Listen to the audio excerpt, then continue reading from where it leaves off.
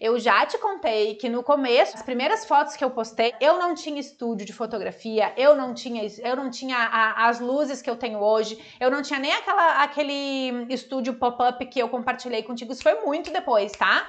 Muito depois. O que que eu fazia? Era uma, um, uma folha de EVA em cima de uma cadeira, é, com a cortina cobrindo a luz e de costas, muitas vezes ainda pegava um lençol e eu esticava com a minha própria mão, foto do meu celular que nem era grande coisa, tá? Então não precisa de equipamento para fazer boas fotos. Então assim, ó, tecnologia e barreira não não não deve ser desculpas. Gurias, chega de desculpas, tá? Chega de desculpas porque tecnologia não é desculpa. Tem um monte de foto aqui, inclusive que eu tenho compartilhado da, da das minhas fofo alunas que tem foto externa foto num jardim bem bonito. Não é desculpa não ter um estúdio de fotografia e não conseguir fazer um estúdio de fotografia, porque a expressão das nossas peças vai além disso, tá? Vai além da produção especificamente.